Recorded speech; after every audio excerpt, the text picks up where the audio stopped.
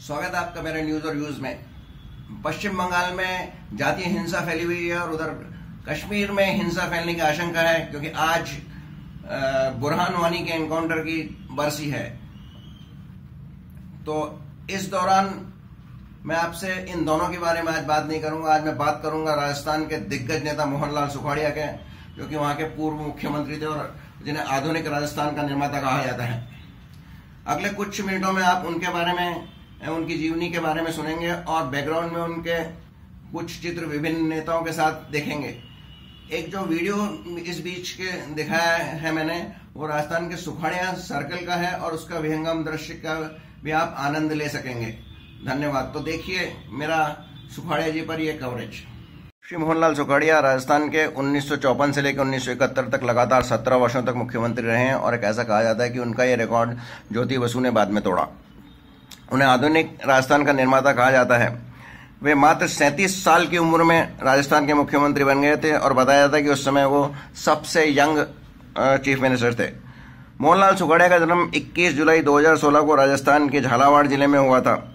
उनके पिता श्री पुरुषोत्तम सुखाड़िया बम्बई और सौराष्ट्र में के जाने माने क्रिकेटर रहे हैं। उन्होंने बम्बई की वीजीटीआई से डिप्लोमा किया इलेक्ट्रिकल इंजीनियरिंग में। इसी दौरान वो वहाँ पर छात्र संघ के महासचिव रहे और दिग्गज कांग्रेसी ने, कांग्रेसी नेताओं श्री नेताजी सुभाष चंद्र बोस अशोक मेहता तथा श्री बल, सरदार वल्लभ भाई पटेल के संपर्क में आए और उन्होंने उसी समय कांग्रेस जो है में सक्रिय रूप से लेना शुरू कर दिया और आज़ादी के लड़ाई में कूद पड़े। शिक्षा प्राप्ति के बाद वो नाथद्वारा लौट आए और उन्होंने अपनी एक छोटी सी इलेक्ट्रिकल रिपेयर की दुकान शॉप खोली और इसी दुकान से उन्होंने आज़ादी के के लड़ाई का शुरुआत की और यहीं पर वो अपने साथियों के साथ मीटिंग किया करते थे और किस तरह इसको आगे बढ़ाया जाए, इसका बारे में विचार विमर्श किया करते थे। उन्नीस सौ बयालीस में वो महात्मा गांधी के कहने पर असहयोग आंदोलन और भारत छोड़ो आंदोलन में कूद पड़े। इस दौरान वो लगभग डेढ़ साल के लिए जेल में भी गए। मोहनलाल सुखाड़िया ने अंतर जातीय विवाह किया उस समय जब जबकि हिंदू समाज में काफ़ी रूढ़िवादिता थी और उन्होंने अपना ये विवाह आर्य समाज प्रति के की प्रणाली से ब्यावर में किया और जब वो ब्यावर से नाथद्वारा लौटे तो उनके उन, उनका उनके साथियों ने भव्य स्वागत किया और मोहन भैया जिंदाबाद मोहन भैया जिंदाबाद के नारे लगाते हुए उनमें शहर उनका शहर में जुलूस निकाला, उनको शहर में घुमाया गया घुमाया गया और इसके चलते ही बाद में उनकी माता जी ने अपना आशीर्वाद उन्हें दिया। श्री सुखाड़िया का कहना है कि इतना स्वागत तो उनका चीफ मुख्यमंत्री बनने पर भी नहीं किया गया था। आज़ादी के बाद उन्होंने राजस्थान के एकीकरण में काफ़ी मदद की और नए राजस्थान की स्थापना की। स्थापना में उनका मुख्य भूमिका थी। वे राजस्थान के पहले मंत्रिमंडल में शामिल हुए और उसमें वो सिंचाई तथा श्रम मंत्री थे। उन्नीस सौ बावन में जब राम राज्य परिषद के कुछ सदस्यों को 22 सदस्यों को जयनारायण व्यास के कहने पर कांग्रेस में शामिल किए जाने की बात आई तो श्री सुखाड़िया ने इसका विरोध किया। उनका कहना था कि इस, ये जो राम राज्य परिषद के ज़्यादातर लोग हैं, ये जमींदार हैं और इनके चलते कांग्रेस द्वारा चालू किए गए भूमि सुधारों में बाधा आएगी।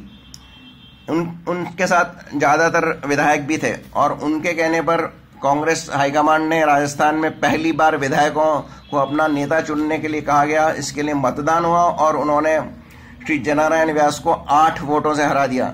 यहाँ ये कहना इम्पोर्टेंट है कि जयनारायण व्यास नेहरू जी के चहेते थे और उसके बाद से लगातार वो सत्रह साल तक, यानी 1971 तक राजस्थान के मुख्यमंत्री रहे। ये शायद पहली बार या अंतिम पहली और अंतिम बार ही होगा कि कांग्रेस के विधायक दल के नेता चुनने के लिए मतदान हुआ हो। श्री सुखाड़िया नेहरू और, पर, और गा, गांधी परिवार के प्रिय नहीं थे।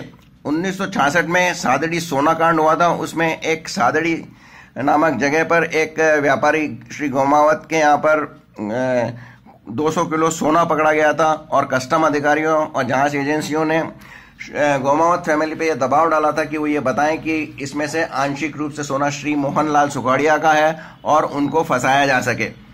लेकिन उस परिवार ने झूठ बोलने से इनकार कर दिया। हालाँकि उनको उसकी काफ़ी सजा कीमत चुकानी पड़ी पर उन्होंने झूठ नहीं बोला और ऐसा नहीं कहा कि यह सोना श्री सुखाड़िया का है। अंततः उन्नीस सौ छियानवे में इस परिवार को न्यायिक रूप से यह सोना वापस मिला। 1969 में जब इंदिरा गांधी ने कांग्रेस में बगावत की थी, या दूसरे शब्दों में कहें कि कांग्रेस का पारिवारिकरण शुरू किया था तो उन्होंने एक सलाह जारी की थी कांग्रेस विधायकों के लिए कि वे कांग्रेस के राष्ट्रपति पद के आधिकारिक प्रत्याशी श्री संजीवा रेड्डी को वोट ना दें, श्री वीवी गिरी को वोट दें।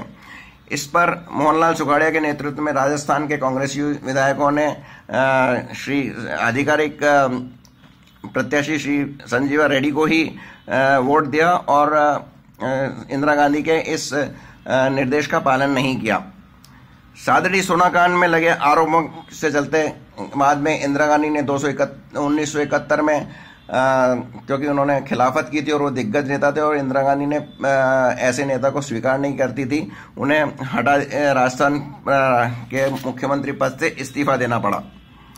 और उसकी जगह इंदिरा गांधी के चहेते बरकतुल्ला खान को मुख्यमंत्री बनाया गया। श्री सुखड़िया काफ़ी मिलनसार व्यक्ति थे और जब भी वे कभी छोटे मोटे दौरों पे जाते थे तो खेत के बगल में खाट बिछा के खाना खाया करते थे। उनकी मृत मुख्यमंत्री पद पे हटाए जाने के बाद श्री सुखाड़िया आंध्र प्रदेश, कर्नाटक और तमिलनाडु के राज्यपाल भी रहे और बाद में वो लोकसभा के सदस्य उदयपुर से रहे। उन्नीस सौ बयासी में उनका निधन हुआ बीकानेर में और कहा जाता है कि श्री भैरव सिंह शेखावत जो बाद में राजस्थान के मुख्यमंत्री बने उनकी बेटी का विवाह दो दिन बाद था। और श्री शेखावत ने बिना किसी सजावट के बड़ी ही सादगी के सादगी से अपनी एकलौती बेटी का विवाह किया।